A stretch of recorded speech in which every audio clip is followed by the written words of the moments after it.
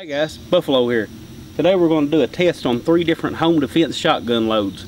And what we're going to be looking at today is over penetration.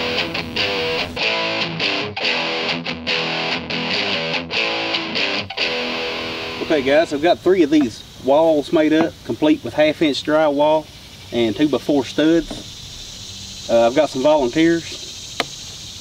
Got six watermelons. Have to be a real melon head to volunteer for a job like this. But what we're going to do is we're going to test three different shotgun loads. We're going to test birdshot, buckshot, and slugs. And we're going to have a watermelon in front of the wall and a watermelon behind the wall for each of the shots. What we're testing for is over penetration. We want to destroy the watermelon that's playing the assailant here, but we don't want to destroy the watermelon on the other side of the wall. Now once again, these are the three loads we'll be using. First shot we're going to take is going to be with a one ounce slug, which looks like that right there. Then our second shot, we're going to be using double aught buckshot, which is another real common home defense load. Has nine of these size pellets right here. They're about 32 caliber. Last up, we're going to use birdshot. It's got an ounce and an eighth of these number eight shot in it. Alright guys, here's how this test is going to work. I've got this watermelon here playing the assailant. We're going to take a shot at him, and he's going to be standing in front of the wall here. And behind the wall is the innocent watermelon. Now the reason I'm doing this test is to help some people out that don't really know about overpenetration and what it can do and whether you've got close neighbors or other people in your own home this is something that you should take into consideration when deciding on a shotgun load for home defense. Alright guys, we're going to start out with the slug and we're going to do all these shots from 15 feet after taking some measurements and, and looking around in my house. Uh, 15 feet is going to be typical of what you would be trying to defend yourself inside your home. So that's what we decided on.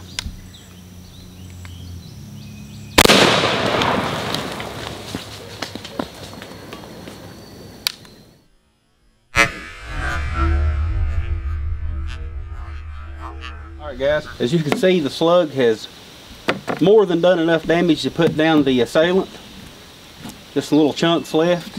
I see a piece of the fiber wad from behind the slug laying here and our entry hole is right next actually it scrapes the uh, stud here in the middle of the wall and leaves a pretty big entry hole. So let's check out the back side all right. Now we've took out our assailant but unfortunately we've took out an innocent on the back side of the wall. You can see that that is a uh, that is more than likely a fatal wound to this melon.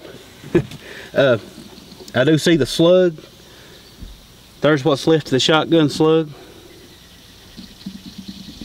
After going through the wall and ripping out part of the stud and into the back watermelon.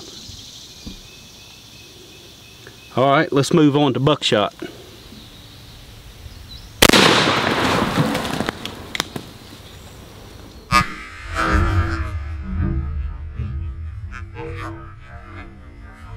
Alright guys, once again, the assailant side of the wall, assailant, more than enough damage for the assailant to go down.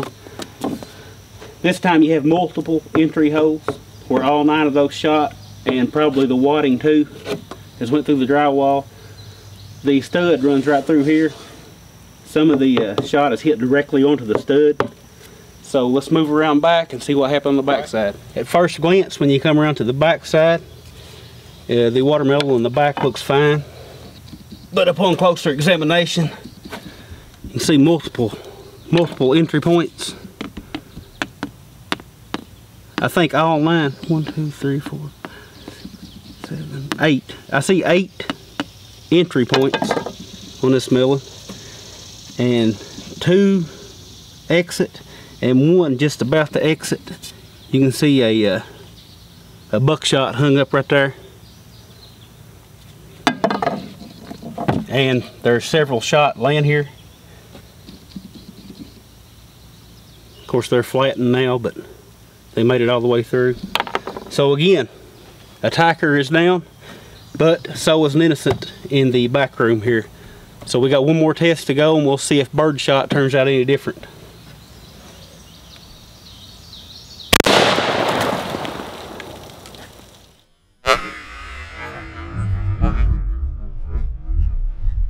Okay guys, up here taking a look at the front side. This melon didn't totally obliterate like the other two. But that being said, he has suffered enough damage that I don't think he's going to be bothering anybody. I see that the main pattern of shot is entered right in here with the stud running right down the middle. And the wad is laying here. There's the wad that carried the shot. So let's go to the back side and see what happens. Okay guys, taking a look at the back side here. None of the shot made it through. There is no exit holes. So your child in the next room would have been safe had you had to take down an assailant with birdshot. He looks good enough we might just eat him. Alright guys, now this obviously wasn't a scientific test. Your attackers are not going to be made out of watermelon. They're going to be made out of flesh and bone. And your walls will probably be made out of a different material, at least a different lot number if nothing else, than the material I used. This was just a demonstration of the difference between birdshot, buckshot, and slugs. Um, if y'all like this video, go ahead and subscribe. I'm going to be doing some more videos of this type. Thank y'all for watching.